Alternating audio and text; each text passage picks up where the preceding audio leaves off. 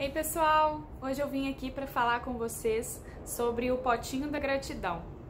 Em um dos vídeos anteriores eu comentei com vocês que eu tenho um potinho no qual eu coloco todos os dias algo que realmente me trouxe aquele sentimento de gratidão.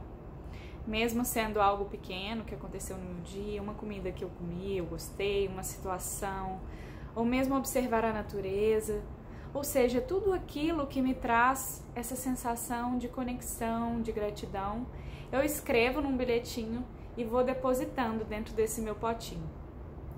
E no final do ano, no último dia do ano, é um momento super legal porque é nesse momento que eu abro o meu potinho da gratidão no último dia do ano e releio todos aqueles bilhetinhos que eu fui depositando ao longo desses 365 dias.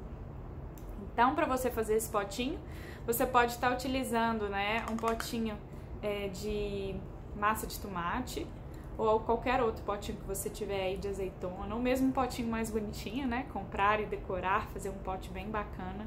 Eu ainda vou estilizar o meu. E mesmo que não seja hoje o primeiro dia do ano, mas eu convido você a fazer esse potinho aí na sua casa, para que você possa materializar a sua gratidão pelas pequenas coisas do seu dia.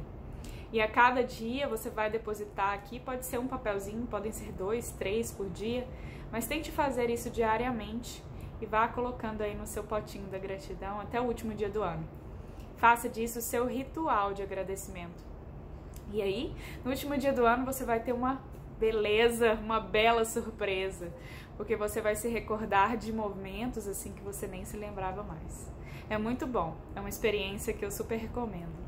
Se tiver alguma dúvida sobre como fazer o seu potinho, como funciona, só deixar um comentário aí que eu vou ter o prazer de te responder, tá bom? Um super abraço. Beijo!